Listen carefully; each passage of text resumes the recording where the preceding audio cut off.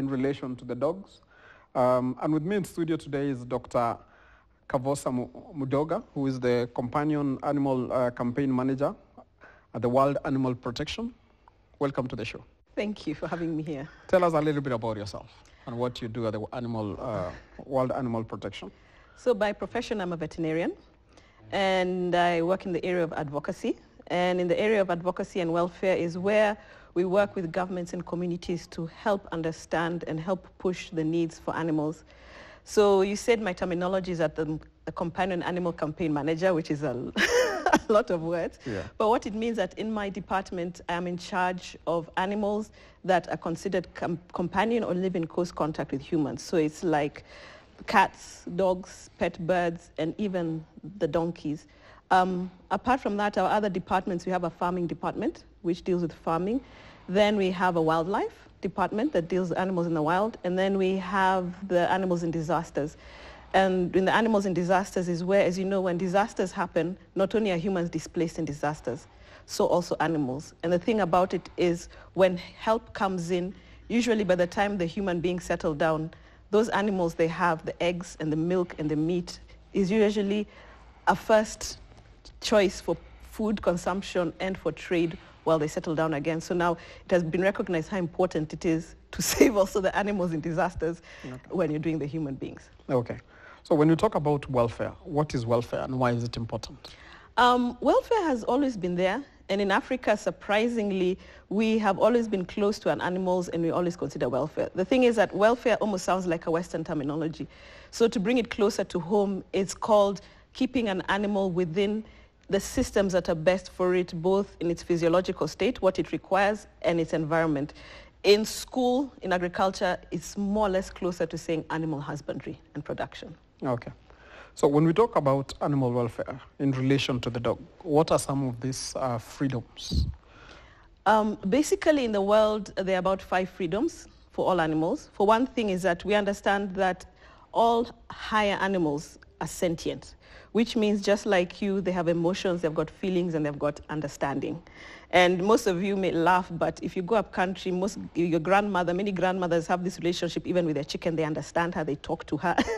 yeah, true. People who are brought up with their dogs, it's as if they talk to each other, they can understand. So animals actually do have an understanding. Even if you go to the wildlife system, you'll notice if you walk in a national park, you may be attacked. But if you see a lion sees a person, a KWS officer in their ranger uniform, they know who they are and they understand each other, which, as I said, animals do, like human beings, have mm. a form of understanding and emotions. So now, there are basic five freedoms, and these ones are arranged as in the freedom from food and hunger, freedom from distress, then you have freedom from pain, injury, and disease. Then you have freedom to express natural, natural behavior, and then freedom from fear, which is almost almost exactly the same as the human, the basic freedoms for human beings. Okay. But they've been split in five sectors. Okay, if we start um, uh, looking at them one by one, let's start with the, um, the freedom for um, fast and anger. Um, tell us a little bit about uh, the, these freedoms and, and why, why, why is it important? So just like uh, the human being, all animals for their health and sustenance, they need a proper balanced diet. And just like human beings, you also need proper sufficient um, water, source of water intake. So now what we are saying is that this freedom is where all animals are allowed to have a proper amount of water and not just any water. We're talking about potable water. That is water that you, I as a human being, can drink. What people mistake is that they go and get a certain type of water and filter water for human beings. Then for your dog, your cat, your cow, you just go and get any puddle of water. The only problem is that when you take this water and this water has bacteria viruses, that bacterial virus is going to end up causing your dog, your cat, or your cow to end up becoming sick. And then you wonder why your animal is losing weight, it's having diarrhea, it's having skin issues, but it's because you're not giving proper water. Apart from that, just like human beings, animals need water to clear the toxins in the body through their kidneys. And they need it also to um, generate and cool their, their body systems, just like human beings. So when you don't give an animal enough water, you're causing problems with their body organs like the liver and the kidney, which at the end of the day, it ends up becoming costs or you lose productivity that you could have had because the animal gets sick and dies young. So you make a loss on your point of view. As for food, just like anybody else, the dog and the cat to have a proper body and to be healthy, they need a proper balanced diet. For your cow to, to be healthy, produce milk, and be able to take a calf to term, your, whether it's your goat or your sheep, they need a proper diet. If they don't have a proper diet, then their bodies cannot produce what you want and they cannot sustain themselves. Just like a human being, if you don't have proper food, you will starve. And when you starve, your health goes in the opposite direction. And at times, eventually, it can cause death. Okay. From where you sit, uh, do you think us as a country, um, we treat our dogs that way um, when it comes to this particular freedom of thirst and hunger? Um, when it comes to this particular freedom of thirst and hunger, I'd say um, where we have been is that most people don't have a proper understanding. Yes, because where we've worked in communities, people want to have their dogs, they love them, but they don't have the clear understanding of what the vital need is. But where there have been organizations where they've worked and taught people, people have now put things into place. Even us here in Nairobi or in cities where we keep dogs and cats in-house, unless somebody has gone to the veterinarian or they go up, very many people you find come into clinics with a dog with an issue and it's all just nutrition. And when you explain to them, they're like, wow. So it, we're in a place where some people know, some people don't know. But you'd be so amazed that the community that actually do this without, which is, I think it's integral to them. I think it's because animals and livestock are the part. If you go to like the Mas- Maasai and Samburu communities, and you see how those dogs are taken care of. In the morning when people get water, everyone gets water. When milk is given, the animal is given milk. When they go hunting, an animal is given its portion. So I think, surprisingly, the, the dogs that have the highest welfare are in those communities that most people, like, um, as I'd say, live almost in their traditional values, which shows in Africa, in our traditional values and state, we had those things, but somehow a long time as we modernized, they seem to have gotten lost along the way, but we are coming back. so we are not doing badly as a country. We're not doing badly. Okay, let's go to the freedom from pain, injury, and disease. So the pay, that freedom is basically talking about healthcare. Mm-hmm. That when your animal is sick or it is injured, for you to take an animal to a veterinarian or call the veterinarian or the uh, animal health professional. Because in Kenya, apart from veterinarians, we have paraprofessionals, which are animal health officers, uh, who can also treat your dogs and your cats. And you see most of them in Kenya, we call them AHAs, animal health assistants. The terminology is interchanged as you go. So just like when a human being is sick, mm-hmm. you do not feel well, your functionality goes down. So even when animals are sick, their bodies do what your bodies will do and try to close down so that the animal is just trying to sustain itself and to keep alive. So now, in dogs and cats, you can notice when they're sick and they have pain, they will be like, they lie down, they don't want to do anything, then close themselves, and then you have a guard dog and you're wondering what is happening. If they have other diseases, then you can see things happening like a dog is not running anymore, a dog cannot eat, your dog is going blind, your dog is losing weight. So if you don't maintain their health, at the end of the day, just like in a human being, the disease ends up killing the animal and reducing its productivity. So that's why we have to maintain its health status. Okay. Um, growing up in the village, um, I used to remember we used to uh, also have dogs, and sometimes they could get sick. But now, um, my parents will now are in a catch-22 situation. Do we treat the dog or we take care of the cows? And most of the time, they'll always go for the cow, and the dog will will end up suffering. Um, what do we need to to do to find this balance to also help these communities understand that um, uh, regardless that we, uh, even as we think the cow is more important than the dog, the dog is still as important as the same cow. So as I, what we have done and where we've gone in communities and where organizations, what we do is when we sit down with communities, we, we actually tell them, they say, but it's a dog. Then we sit down and tell them, okay, tell us how important your dog is. So by the time they list the things the dog does for them, they actually do realize, wow, the dog is actually yeah, important. And th- the thing is, what they don't understand is that many people know that the vet and the animal health assistant treats the cow and the pig. Many people still don't relate, relate that they can treat, they also treat the dog. Mm-hmm. Yeah, it, it's something that still has to link with people. And apart from that, at the end of the day, when you actually make people realize that some of the sicknesses that the cow is having, some of those bacterial or worm or fungal infections, if it gets into the dog and then you treat only the cow, the dog continues being a source and can pass it back to the cow or can pass it back to small children whom dogs play around with. I'm sure you've seen where dogs have a skin issue and then after some time, children within the village tend to also have The that same. same issue, yeah. Ah, So now when you get people to understand the importance of how the dog is actually a medium of, you can, if you don't treat it, uh, disease between your livestock and human being, but it can also be a protective barrier if you actually take that step. Okay. And, and, it's, and it's just, as I said, it's just that small point of where more education has to be brought across in that area. Okay. Let's move to the third freedom. That is the freedom to express uh, normal behavior. So just like human beings, most animals have social norms. Most people laugh. You're like, oh yeah. but just the way we human beings ha- have, we're in families and we have communities, um, the way we spend time socialize with each other, the way human beings of different personalities. You have the human beings who can be the joke and the clown of, of the house. And then you have those ones who would rather much be in a room with a book. So like also for dogs, cats, even cows, each and every one of them has different personalities. And people who have actually grown up and work on the farm, most farmers, when you go to visit them, apart from each cow, when you go to close to the cow, they can tell you, oh, Sophie is like this, this, and this. Yeah, Paul does not like X, Y, Z. So even for dogs, they're like that. And the thing for a dog is that dogs, even in the wild, they're social animals. They're pack animals. So dogs live as families. Mm-hmm. So in the household, when you own a dog, you're the dog's family. So as a household, you also have to meet that social need where you are the family to the dog and you allow the dog to be part of that family.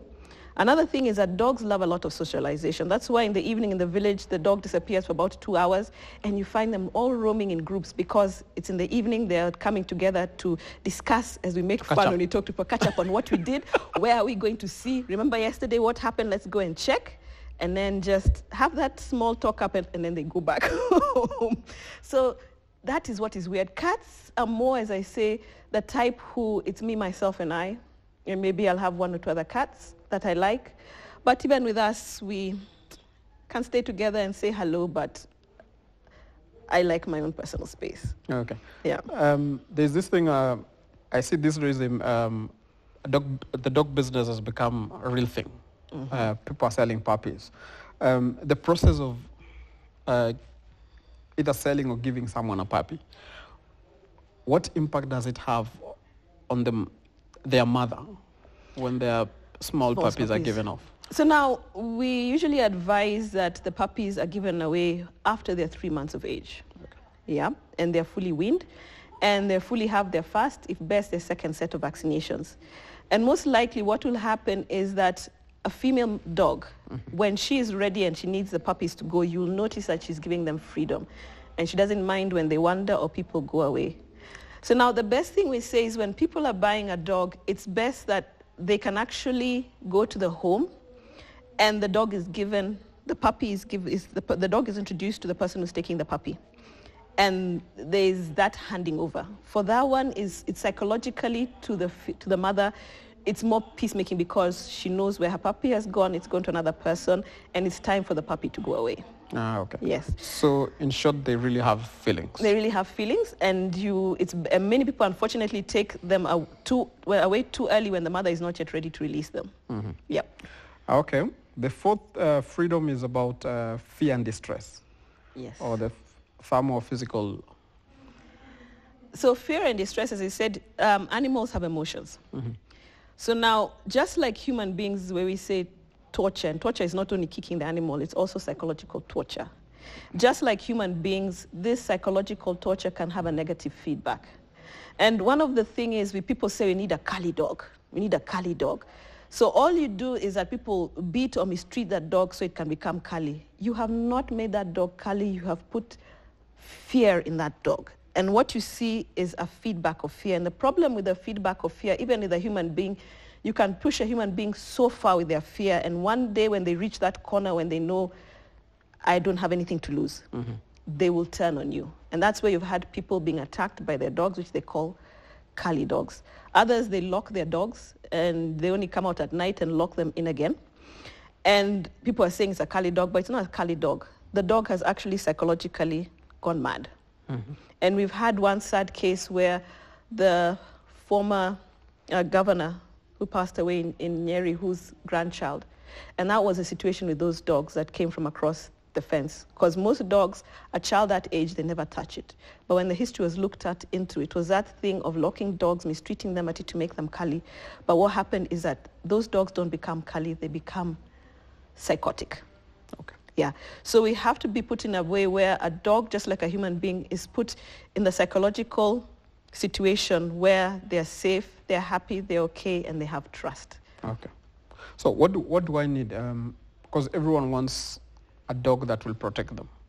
So if by locking them in a corner somewhere, uh, tying them uh, the whole day, what what other uh, means can we use mm-hmm.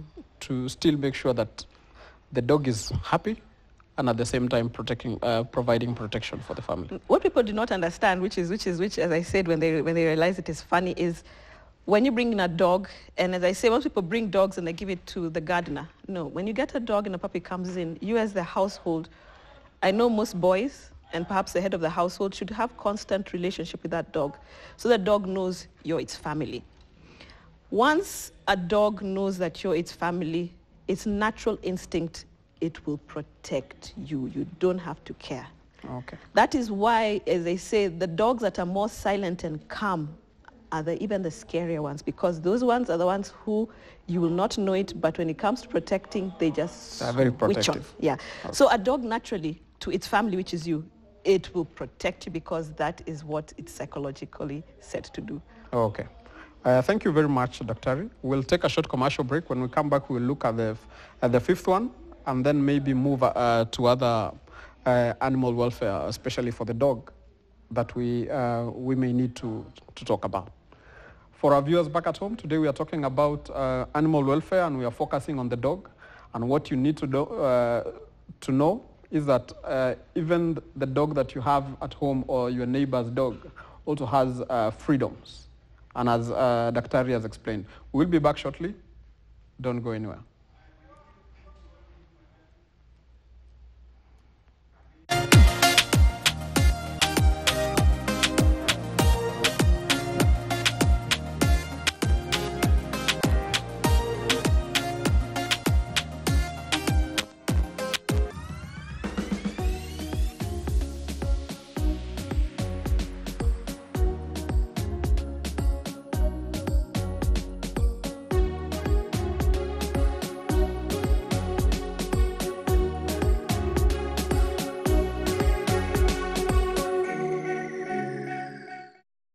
KUSA Broadcasting Awards 2021 is here. KTN Farmers TV has been selected as the People's Choice TV station, and we need your help to bring the award home.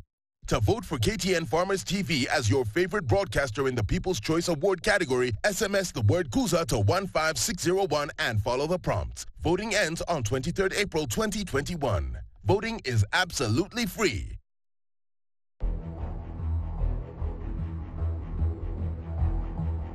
Fish business can be a risky business. From hatchery management. If we say hatch 400,000 eggs a month, you find that what we put into the system could be 50% of that. Breeding and regulating the male to female ratio. Don't just set up a hatchery just because you feel like you want to start selling. You, you, for, for you to reduce mortality, you have to invest in a good hatchery where you can be able to, you know, maintain all the conditions required. To acquiring a sustainable market. Catfish has more demand than any other fish right now in Kenya. But it does not need to be fishy or murky waters for you. On Fish Business, we break it down for you. Whether you're a beginner or an expert, our weekly episodes will leave you knowledge richer. Think outside the box with us on Fish Business every Sunday at 7.30 p.m.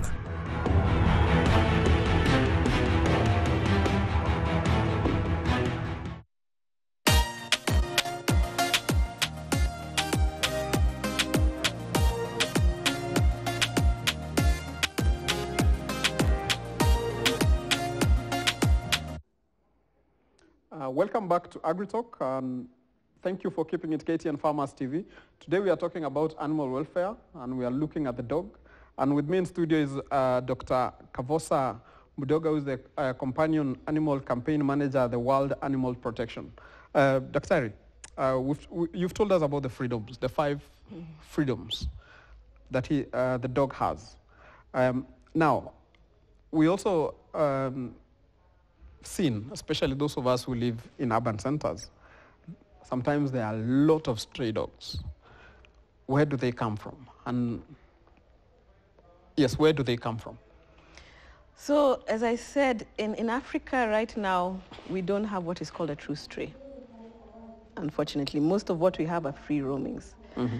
So like you have problems, like you said in Nairobi about stray dogs, and I know two years ago we worked with the Nairobi County, and we actually went around, and what we found out is that most of these strays you're seeing are actually quite a number of them A are owned by street families.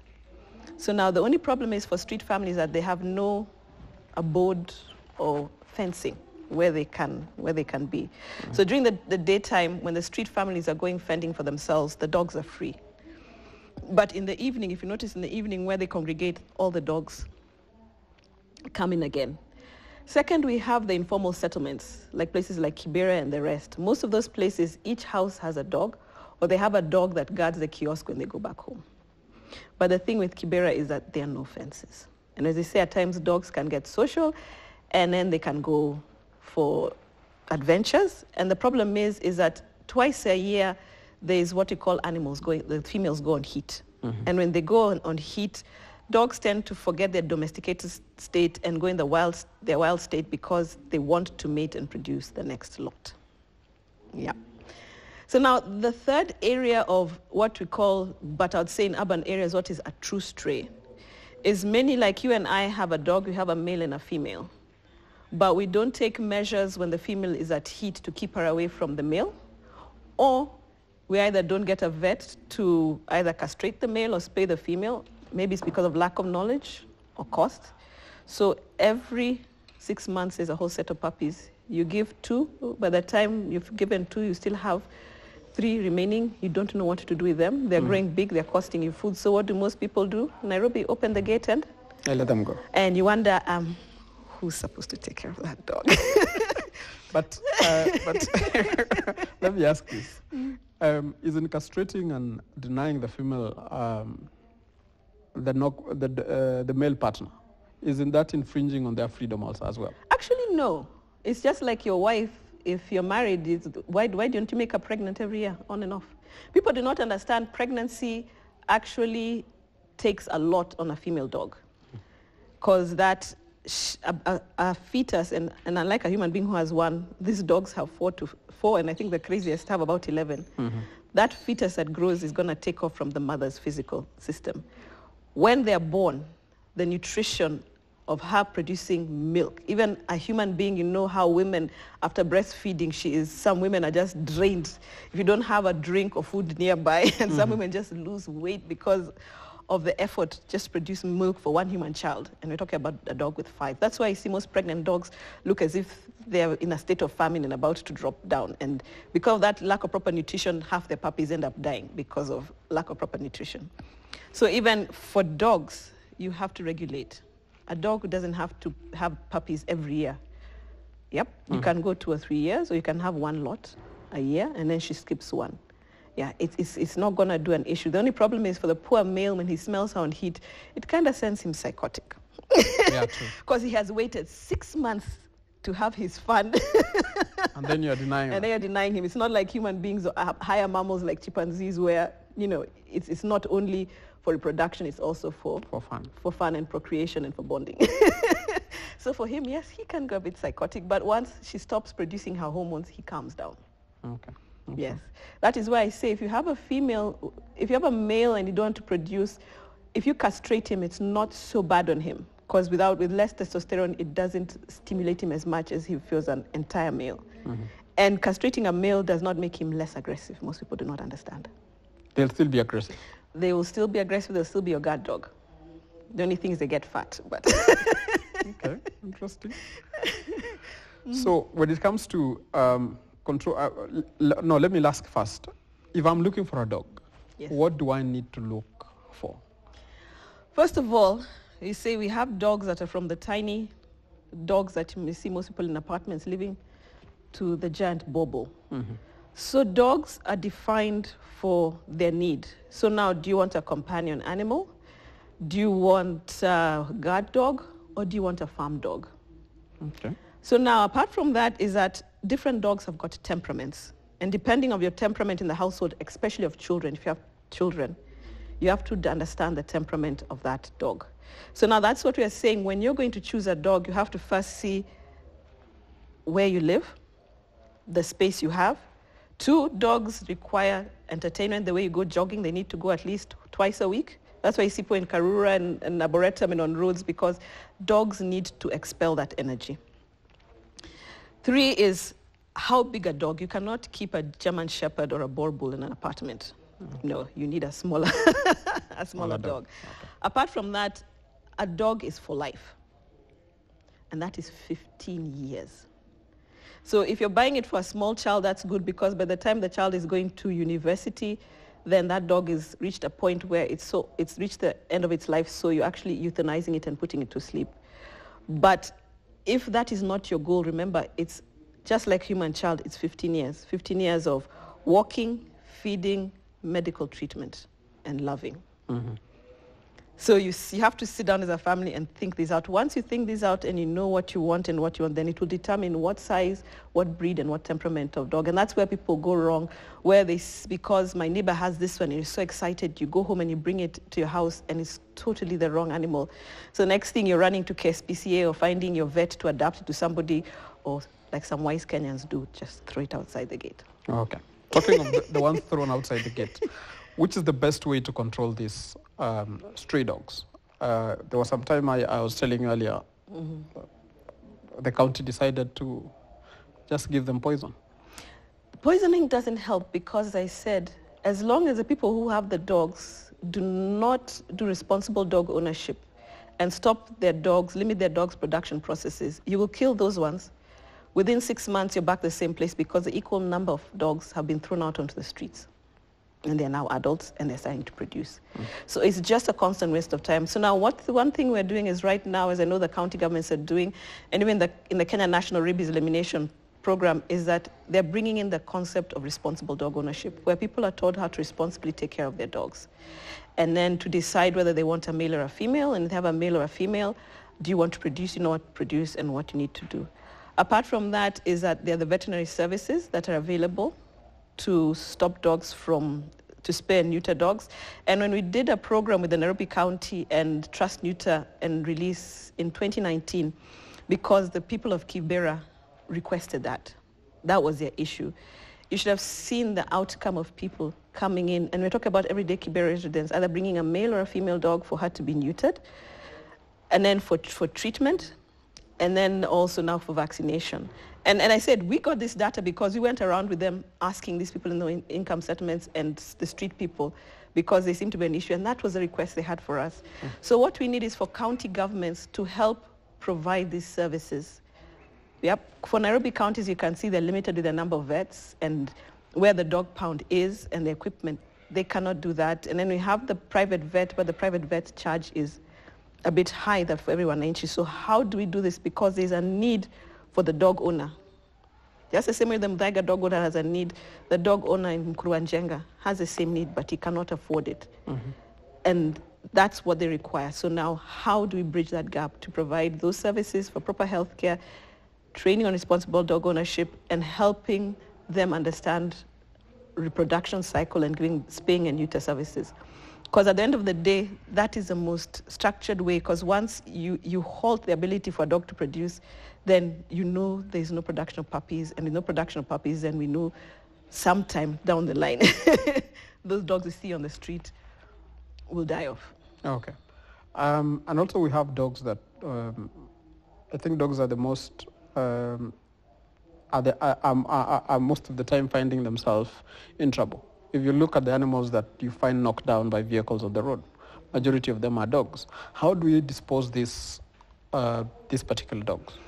Um, these and dogs, whose responsibility yeah. is it? Because sometimes The responsibility is actually the Nairobi County Veterinary Department and the Public Health Department.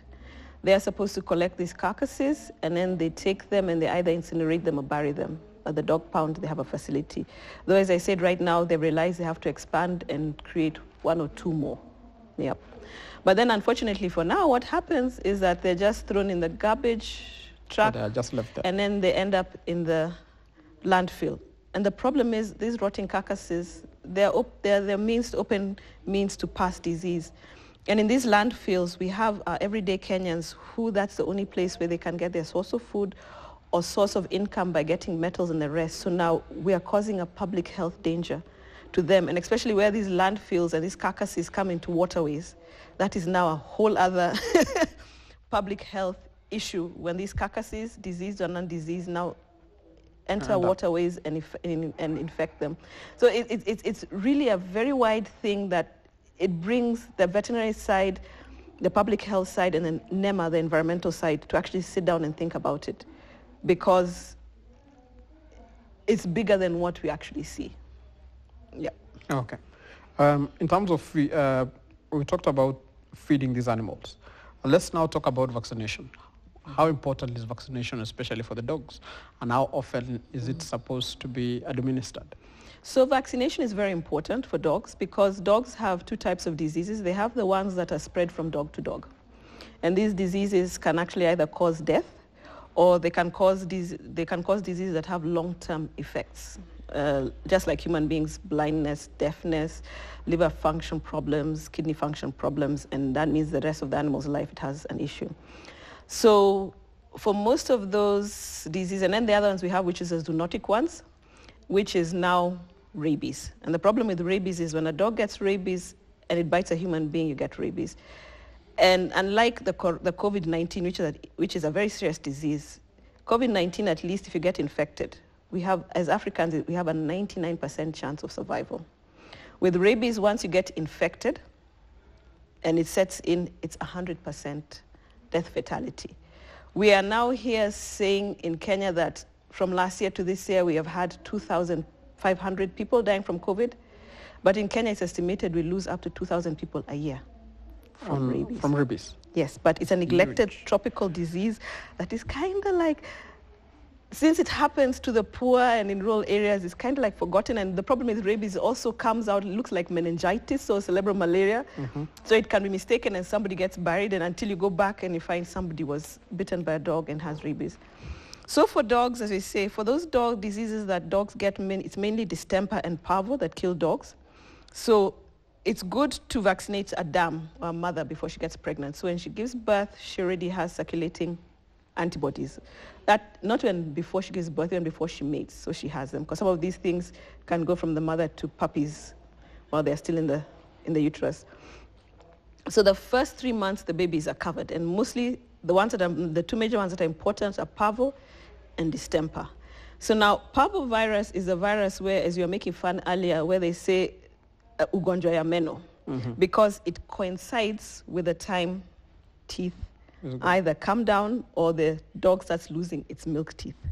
Because that's a time when it affects them. And what it does, it causes diarrhea, bloody diarrhea, and then the dog just after two or three days dies.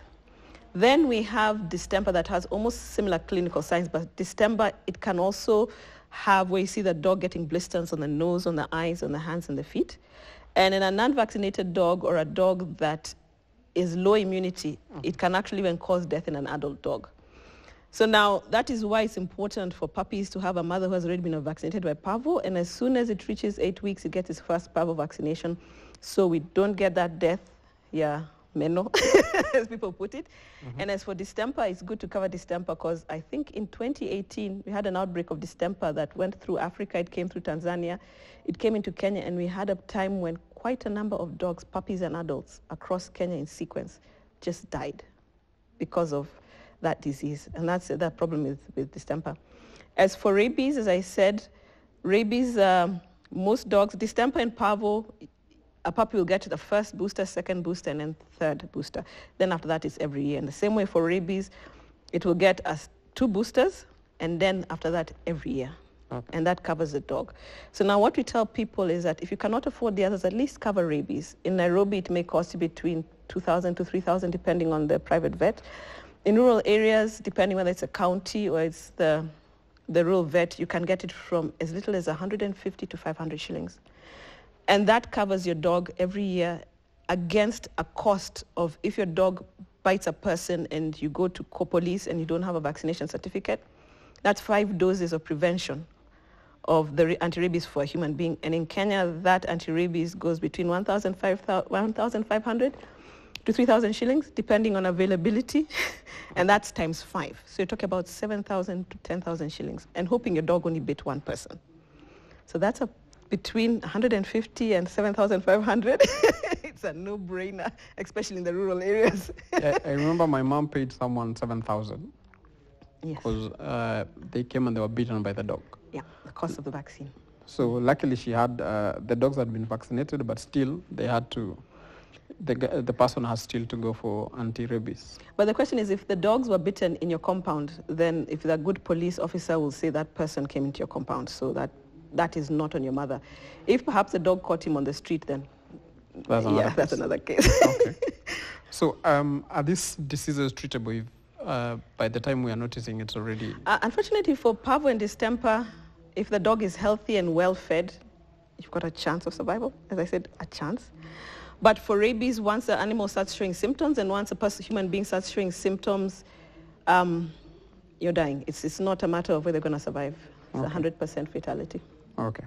Um, and in terms of uh, feeding these animals, how Yes. often or how many times a day should we feed these uh, dogs? I know people feed their dogs once a day. So it depends. Puppies, we usually say three to four times a day. Just like a human being, a baby is fed several times a day.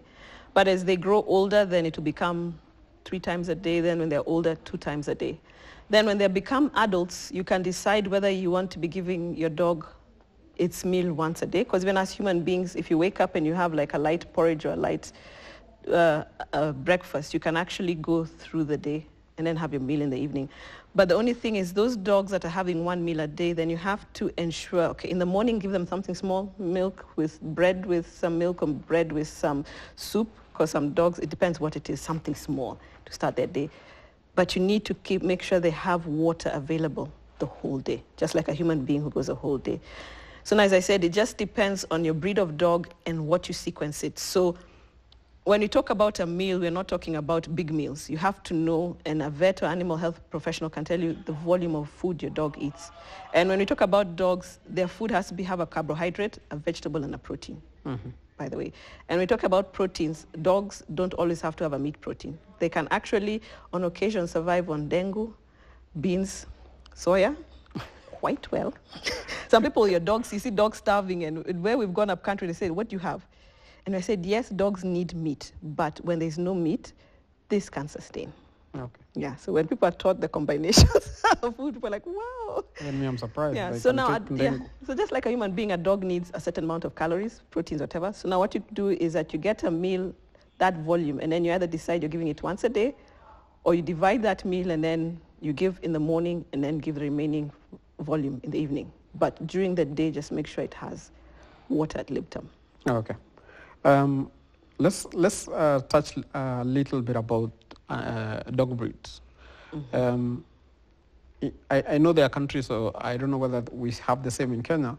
There are particular breeds that you cannot have them in this country. I don't know whether we have them.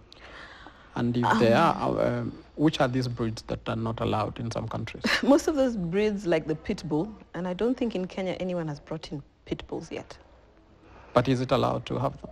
Um, right now in Kenya, we are developing animal welfare legislation and regulations. So now some of those dangerous breeds will be listed. So now at present in Kenya, we don't have what is called a dangerous breed that globally, that uh, globally they're banned.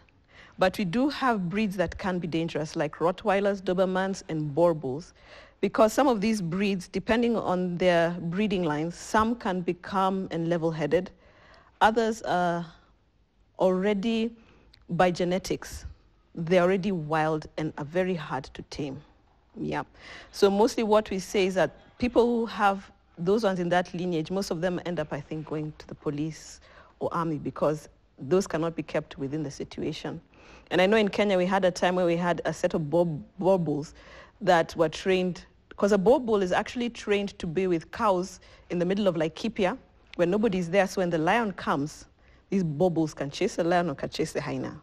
So it's actually a fighting war dog. Mm. So now we had cases earlier where people brought these ones in and did not realize as puppies that that's eventually what's going to happen. But over time, the boar society has worked in Kenya, and now most of the boar we have are boar that are tame and more domesticated. Mm. so that's why I was saying when you're going to select a dog, you have to actually observe the parents to see the temperament of the parents because the temperament will decide what the temperament of your dog is. So we have dogs that can be dangerous, but not the ones that are globally considered dangerous and banned. Okay. So when we, when we talk about um, the welfare of the dog, how, from all what you've told me, how do you think we fare as a country? As a country, we've got, at least we're there, we're on the move, but we've got quite a bit to go. And I say, when I talk about quite a bit, I think more in the urban areas than even in the rural areas. But it has been picking up. For the past five years, it has been picking up. Uh, counties themselves are picking it up because now when, when the county, that's one thing that, that, that, that, that enable, that, that is a positive for devolution, is when county governments now got their own rights to how they run their counties. And veterinary departments now, within the county, we are doing things as a county. Because you know, right now in the county, whenever you make a year's program, you have to sit with Wananchi and Wananchi tell you mm-hmm. what it is. So you develop it as per with the one Wananchi. And they've brought these things up. Then now county governments are being able to bring up these programs. Some of them have started and others are picking up to help manage these issues and see how they're going. So it started and it's picking up and we're going ahead. But I think, as I said, in urban centers where we tend to live more by ourselves, unlike rural areas where it's community, it's going to take a bit more uh, working. but I know is that the good thing is also with the new education system is that from standard three and standard four, animal welfare is brought in. And one of the two subjects they use is how to take care of your dog and how to take care of your donkey. So we're going to have a new generation of kids, most of them nine standard four, who now are being educated within the education system. So when they become adults in the next 10, 15 years, then they will be, you will be able to see the drastic difference. Even if right now the present older generation, we are slowly coming in and seeing how this education and advocacy can be done within them. Okay. I'm told we have two minutes. So in those two minutes, I want to understand uh, or help our viewers to understand how important is a vet and how um, closed should we be to, our, to, to the vet? Whether, whether you have cows, whether you have, dong- um, and even if you have a cat. Vets are very important towards for, for, for the for vets and animal health assistants are very important because right now as you see like COVID, COVID is a disease that we said was jumped from animals to human beings. Mm. Zoonotic. a zoonotic disease. And also that means there's some diseases that your livestock, your companion animal, your working animal, if they have and you're not careful and you don't have somebody educating you, training you and teaching you, can actually affect you as a family member. We're not talking about, we can, we can talk about rabies, we can talk about childhood diseases like diarrhea and worms. They come across. Apart from that is if you're a livestock keeper, that animal you're taking care of, you're investing it in it. You want those investments to come back to profit you. If you do not have proper production and health care, you're just at a point where you end up losing out and you're making losses and it's no benefit. So that is why your veterinarian is very, very vital within the society. And as I said, they're the link and the bridge. The veterinarian is the link and the bridge between human health, animal, and environment. Most people don't see us that way, but the work we do is a work that bridges from things overflowing into the human side or overflowing into the environment or the environment flowing into the livestock and animals. Yeah, that's all I can say. So um, do we have enough vets as a country? No country in the world has enough vets, and the goodness of the Kenyan vets, is they do tropical medicine, so they're also our vets and animal health assistants, so they're also hot cake. We have our neighboring countries that are also coming up and they need veterinarians. So, So there's a. so there, there's, a, there's a gap globally, globally and in Africa. So now the veterinary profession before in the early 80s, everyone would run for it. But right now it's slowed down, but we need more veterinarians. We need more animal health assistance to come into this place. And the goodness with the veterinarian is that you can either decide you want to work in government or you can come out and you can work privately. The earnings as a veterinarian are good, very good, even animal health assistant. You have your own working hours. And if you don't want to do clinical medicine, we have research medicine. These COVID vaccines that we have done, the companies like Pfizer and the rest, the lead researchers are veterinarians. Oh, okay. That is how big it is. Veterinarians have gone into human health. The lead researcher for HIV in Africa is a veterinarian. Oh, awesome. okay. So, so getting a veterinary degree opens a vast area of how and where you can go in future in your career. Thank you very much, uh, Doc. Um, and thank you for sparing time to be with us. I'm sure our viewers have learned a lot, especially um, on how to take care of their dogs. They say it's the uh, uh, man's best friend. Now they know also they need to take care of their friend and that they have rights. Um, until next time, that is it from AgriTalk. Thank you very much.